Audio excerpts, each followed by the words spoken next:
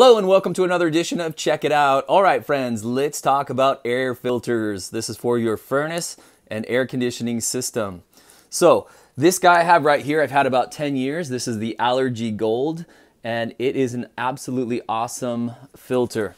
So it is extremely well made. This guy cost me about 70 bucks at the time. This is a kind of an upgraded one. I'll put uh, in the description below I'll put a link to the website where you can purchase these guys. They started about 50 bucks and it looks like a really good one for 50 bucks. And then if you have strong allergies or something like that in your house, maybe you want to spend a little bit more money and get a little bit of an upgraded one like I did here. But my main point in making this video is every time this guy gets dirty, which you can see it's time to wash it out right here, I think to myself how much money I'm saving by having this type of a filter.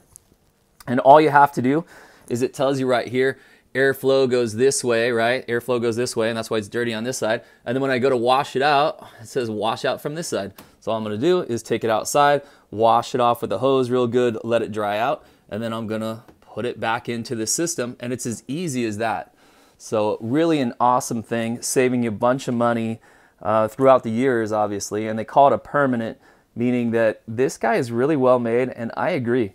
This thing should almost last forever as long as you take decent care of it. But it's very sturdy made and uh, an excellent product.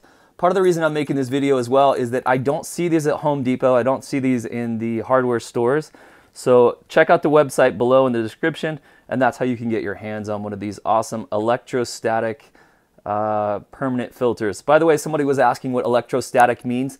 These are not electronic filters. There's no power going to this guy here. But all it is is electrostatically charged so that the dust particles and allergens want to stick to this material.